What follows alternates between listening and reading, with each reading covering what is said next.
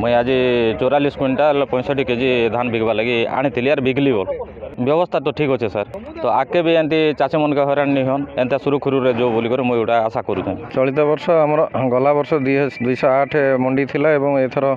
তেরোটি নূয়া মন্ডি যোড়ি হয়েছি সমস্ত মন্ডি মানকরে ধান পর্যায়ক্রমে কিণাযিব প্রথম পর্যায়ে কলমপুর কোকসরা আউ জয়পাটনারে ধান ক্রয় করাযিব আজির দিনরে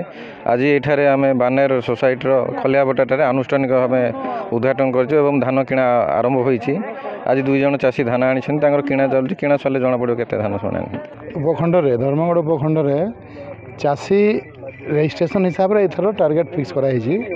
টার্গেটর କିଛି ଅସୁବିଧା ନାହିଁ ଆମର ଏବେ ଜିଲ୍ଲାକୁ ବୟାଳିଶ ଲକ୍ଷ ଟାର୍ଗେଟ୍ ମଧ୍ୟ ପଳାଇ ଆସିଛି ଆମର ଭିତ୍ତିଭୂମି ସବୁ ପ୍ରକାର ବ୍ୟବସ୍ଥା କରାହେଇଛି ଦେଖନ୍ତୁ ଏବେ ଏଇ ଯେଉଁ ଆମେ ଖଲିଆଭଟାରେ ଅଛୁ